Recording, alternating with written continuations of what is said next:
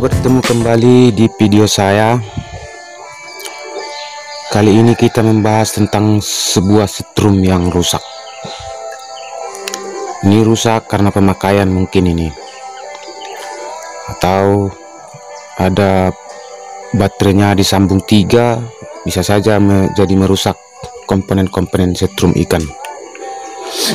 Pertama kita akan sambung dulu. Kita cek mana yang rusak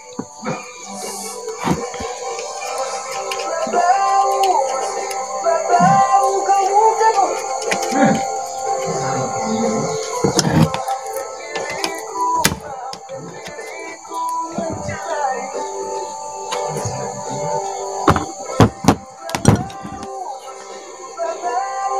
ini ke aki plus dan yang ini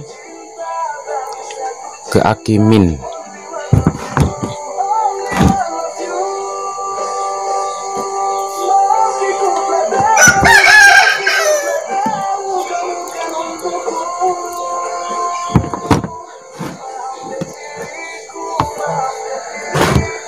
Ini ke aki plus. Sekarang kita tes dulu mana kerusakannya.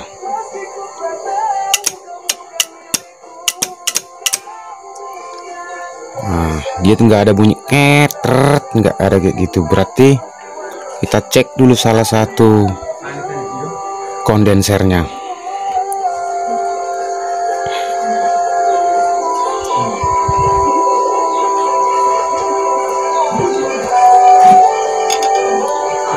ini sekarang jadi kondenser 2 yang tiga kita buka dulu.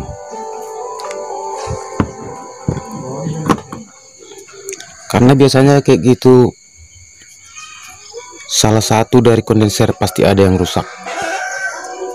Sekarang udah kita buka tiga kondenser sekarang tinggal dua. Kita tes lagi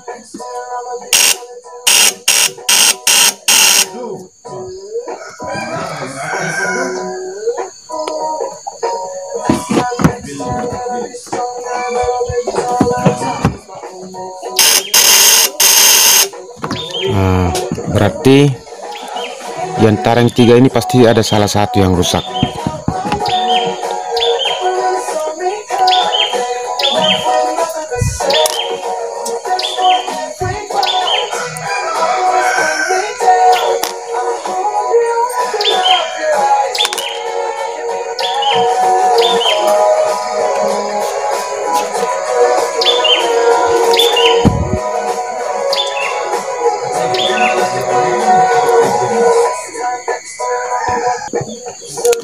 Sekarang kita tes satu-satu.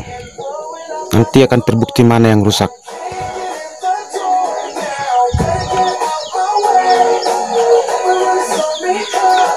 Kita sambung. Jika ini yang rusak, dia pasti bunyi tak tak tak. Dia nggak lancar seperti tadi. Berarti yang satu ini bagus. Kita tes yang satu lagi.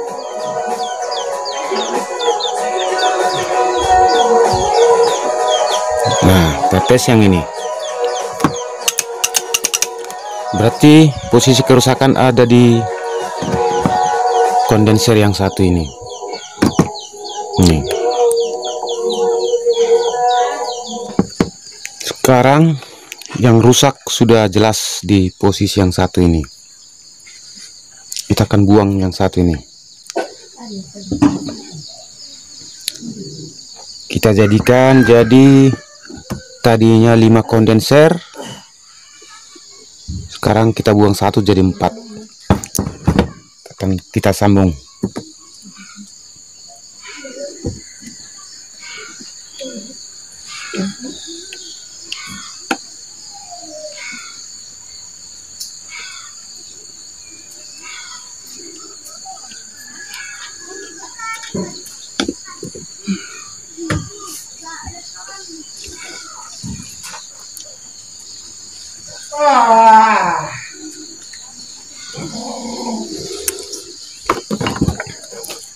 Ini sekarang jadi empat kondenser, yang satu ini sudah kita buang. Kita tes lagi.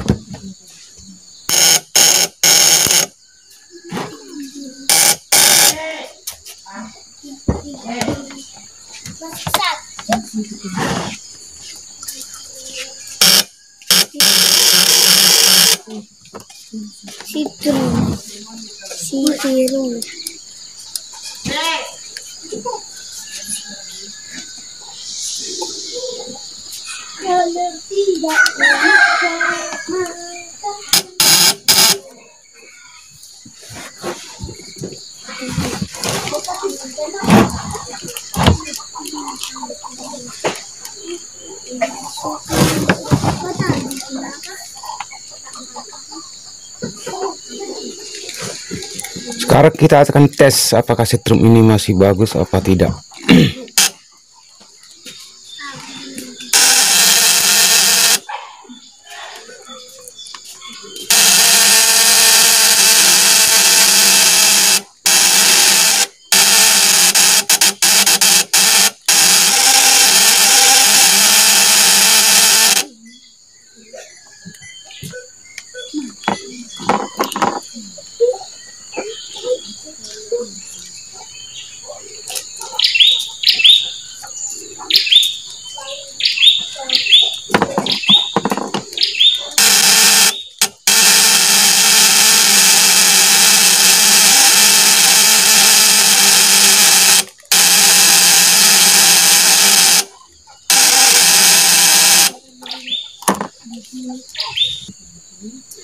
Sekarang kita akan tes ke bola lampu PLN.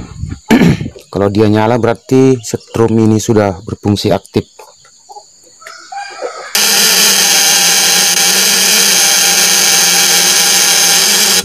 Nah. Berarti dia sudah berfungsi aktif.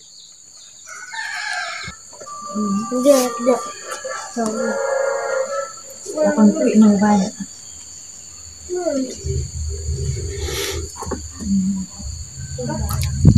Sekarang kita akan tes ke lampu pijar. Apa nyala apa tidak.